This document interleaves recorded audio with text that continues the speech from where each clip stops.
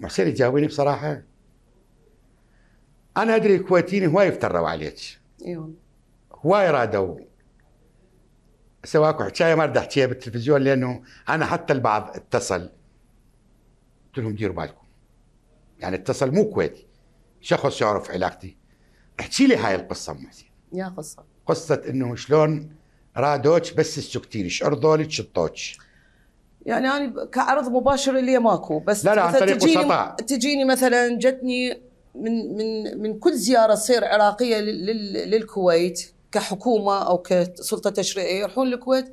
كان الله يرحمه الصباح يعني اللي يتوفى بتحل عليه الرحمه كان يقول بس جيبوا لي علي نصيف حتى لو بطيارة خاصة جيبوها للكويت. يعني بلغوني بشكل رسمي. قلت لهم والله لو يملك لي الدنيا كلها ما أروح. واحد مسؤول واحد نائب كان وياي التقى في لبنان مع مسؤول الأمن الكويتي. هم فاتح هاي كانت على أولها مو هسه. هسه عرفوا وضعي. هم ما صارت. قبل يومين بنات صديقات رايحات رايحات للكويت. قال لهم قال لهم ادخلوا ادخلوا. أنتم كلكم تقدرون تدخلون إلا هاي النائبة عاليه نصيف هسه إيش يشتغلون أستاذ نجم؟ هسه أي أبو بيج عنده ألف صوت يقول له بس سقط ويانا والله العظيم. زين. أنا سمعت أنا طبعا هذا الكلام وإحنا بدنا نحكيك أمام رأي عام عراقي.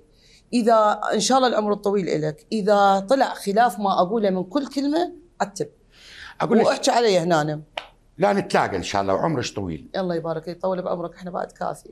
آه القائمه المأخذين رشاوي الولد هواية مخيفة اي أيوة. والله كبيرة. قسم تحت بوابة آه، دعم انتخابي. شوف هم هم خبثاء بأمرين. أي وثيقة من ذني يروحون يودعوها بمجلس الأمن؟ ليش؟ حتى العراق يسقط حقه بالمطالبة. ولذلك هم يقولون يقولون ما لكم حق باتفاقية عبد الله. كل ال... كل الوثائق انودعت في مجلس الأمن. لأن حنفتح عليهم دعاوي حنفتح عليهم جهنم. هسه أي. أكو جايين نواب شرفاء وراهم مو مثل عالية ما عندها سلاح وراهم سلاح. هسه بدوا بدوا يمشون بطريق القضاء.